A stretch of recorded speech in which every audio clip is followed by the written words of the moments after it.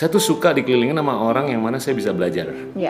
Iya kan? Iya. Dan saya paling suka kalau dikelilingin sama orang yang lebih pinter daripada saya. Iya. Karena kalau dia lebih bercahaya ya kita juga semestinya ngerasain kan? Betul. kan.